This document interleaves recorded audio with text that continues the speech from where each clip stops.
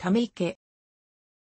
ため池、ため池、ため池、ため池とは主に農業、灌漑用水を確保するために水を蓄え、取水設備を備えた人工の池のことである。その目的のために新設したり、天然の地床を改築したりした池を指す。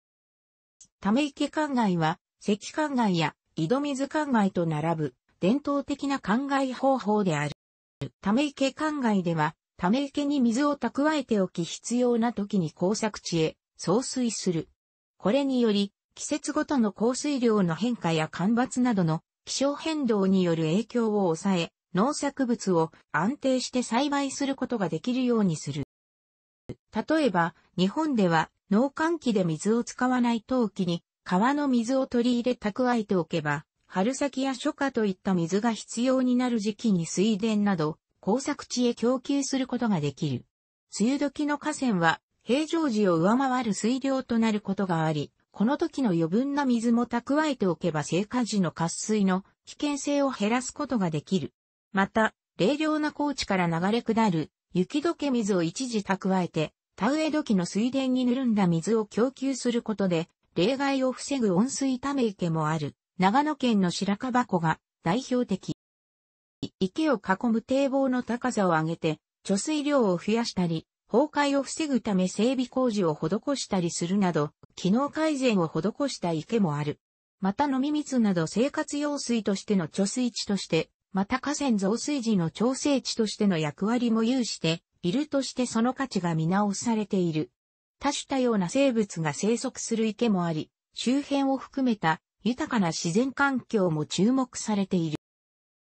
広いため池の場合、ウィンドサーフィンやボート、カヌー、水上オートバイなどを使った娯楽場所として使われているところもある。また灌漑の役目を終えても池として残され、噴水や遊具の整備を行い浸水の公園として公開されているところもある。またヘラブナ、鯉、ブラックバスなど魚釣りで賑わっているため池も多い。包みを用いて水を蓄えているが、必要な時に工作地へ水を送り出せる、用取水施設がある。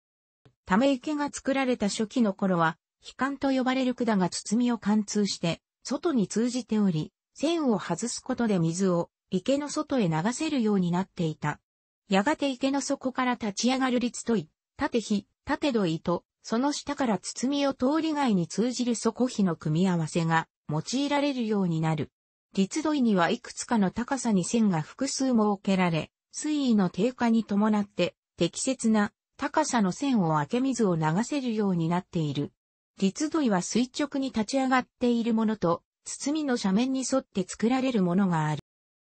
台風などによる増水時に包みが破壊されないよう、包みの一部を低くして、許容量以上の水を早めに出す洪水吐き、洪水化け、洪水場機もしくは予水吐き、予水場機と呼ばれる施設も作られ、英語でオーバーフローと呼ばれることも多い。ため池は谷池と皿池という2種類に大きく分けることができる。両者は場所や築造方法が違うほか、水質や生息する動植物に違いが現れてくる。水を流し出す光や、問いをつける場所を意味する内火は、ため池の弱点である。悲観に木材を使っていた時代では、腐食するために交換する必要があった。もし悲観が腐食して壊れると、包みの崩壊を招くことにもなる。また例えば岩もしくは硬い土であることが求められたが、ここも頑丈でないと崩壊を招きかねない。技術が発達し、包みや取水施設にコンクリートや金属を使うことで強度は上がった。しかし管理が行われなくなったため池では包みの強度が下がっていく恐れがある。周囲の住宅や農地より高い場所にあるため池では、包みの決壊により水害を引き起こした例もある。地震による決壊例では、東日本大震災による藤沼ダム、福島県須賀川市があり、集中豪雨では平成30年7月豪雨などで発生した。農業、食品産業技術総合研究機構、農研機構は民間企業と協力し、地震、豪雨時にため池の決壊リスクを予測するシステムを2018年に開発した。水質汚濁が進んだ池は悪臭を発し、周辺で暮らす住民の不満を招くことになる。またゴミの不法投棄も問題視されている。水質改善やゴミの清掃、外来宿女のため、池の水を一旦抜いて、水底を露出させる貝掘りが行われる場合もある。デカン高原一帯の地域は、世界有数のため池灌漑の分布する地域である。インド南部では、石器時代の初期には、各村落にため池が設けられていた。これらの地域にため池が多数存在する理由は、南西モンスーンの雨季の始まりが年によって大きく変動し、6月から8月、降雨のパターンが安定しないためである。中国の安徽省から河南省南部にかけての下中の山間部もデカン高原一帯と並ぶ世界的なため池灌漑地域である。ため池は稲作文化と深く結びついて築造され、日本の弥生時代には存在したと言われる。日本の場合、年間降水量は多いものの季節や地域によって違いがあるほか、急な地形と短い川により水はすぐに海へ流れ出てしまう。そのために水田の考えを目的として水を蓄えておき必要な時に使えるよう、ため池が発達してきたとされる。古代では古墳の築造とともに池溝の海鮮などの大規模な土木事業が行われた。特に池の海鮮は国家的事業として行われ、古代の農事振興に重要な役割を持っていたことが知られている。日本書紀には、須神町に、狭山に池構えを帰らせて、与謝見池、狩坂池、半織池を、王神町に、関神池を、水人町には、高石池、茅厚池、京城地を、仁徳町には、マムタ亭、栗熊の大溝、ワニ池、横の包みを、李中町には、岩レ池などを作るなどの多くの築堤記事が載せてられている。このほか、風土記などでも摂津国の根葉地、非全国の土灰池、武全国の三角、古も池などの存在が記録されている。李中天皇は、岩レ市、磯池に両枝船を浮かべて遊園し、季節外れの桜を見つけたという記事も見られる。古事記では、水人天皇の子、伊錦の入り彦の命により、地ぬの池、草加の高津の池と共に作られたとされる。このように現在の大阪府や奈良県では4から6世紀頃からため池が作られめたとされる。仏教像である奈良時代の行基、平安時代の空海がため池の築造や補修を行ったという話が他の土木事業の話と共に各地に多く残されていることは知られている。その行基が関与し、現存する日本最古のため池と言われているのが、大阪府大阪狭山市の狭山池である。何度か改修工事が行われて、考え用として現在も使われている。1988年の改修に伴う調査によって発掘された遺跡から、築堤は7世紀初頭には作られていたことが判明。断面の土層分布から行基による8世紀前半の改修と762年の大改修、長元による1202年の改修、片桐勝元の1608年の改修などの経緯を知ることができている。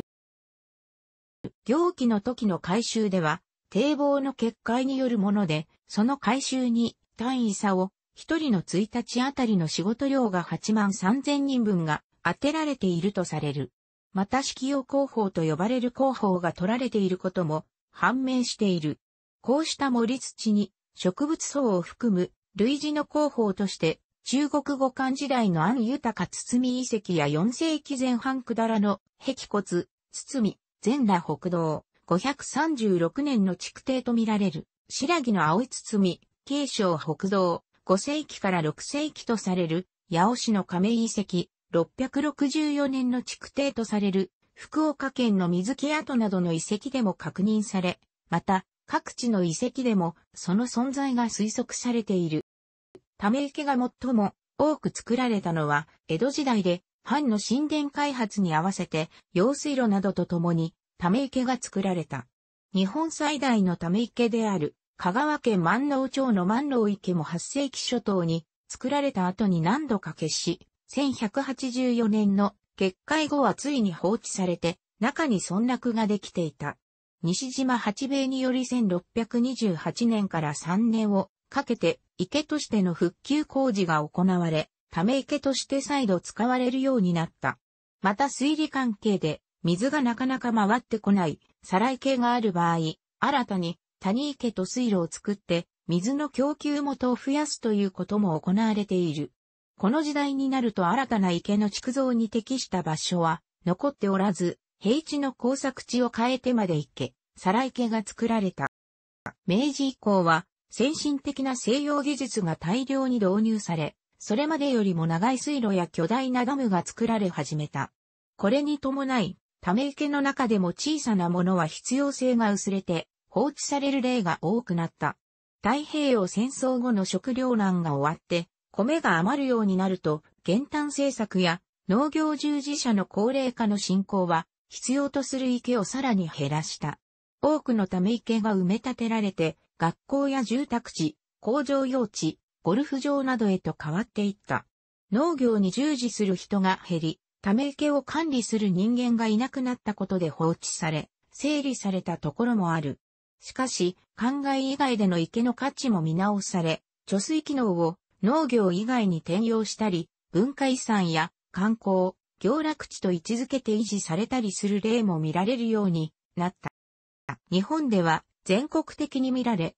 2014年3月時点で19万箇所以上を数える。雨が少ない近畿地方、山陽地方、四国地方の瀬戸内海周辺に特に多く、瀬戸内地域で全国の約6割を占める。2014年3月時点、農林水産省農村振興局調べ。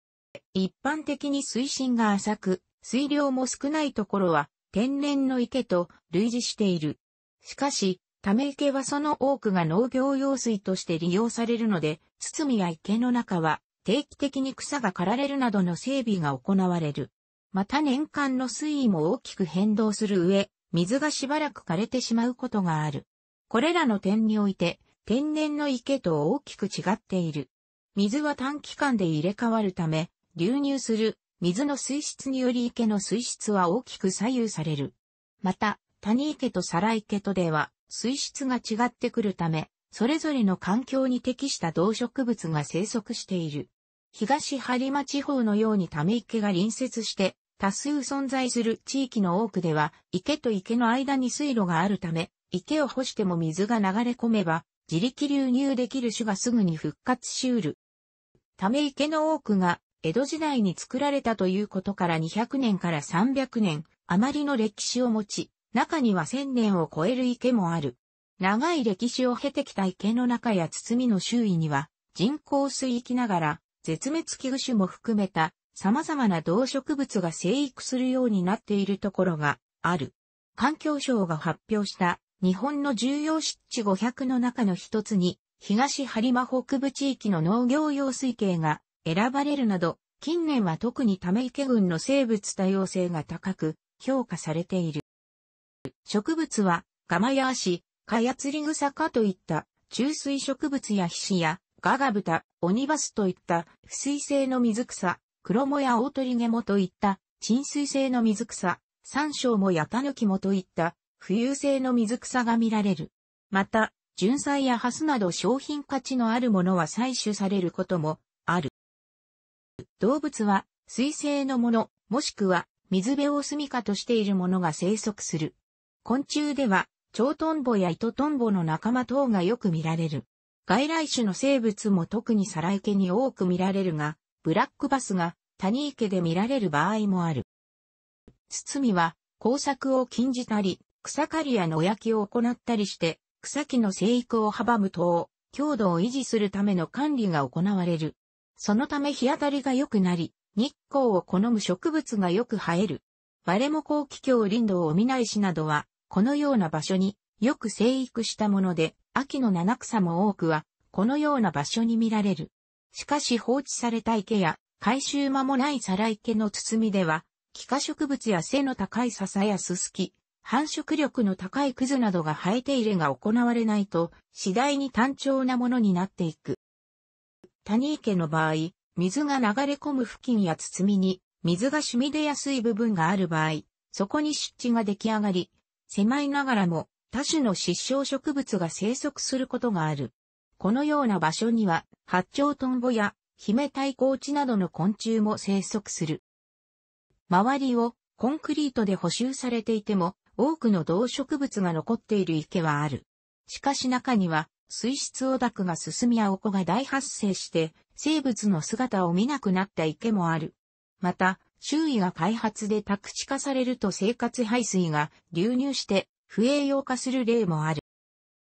楽しくご覧になりましたら、購読と良いです。クリックしてください。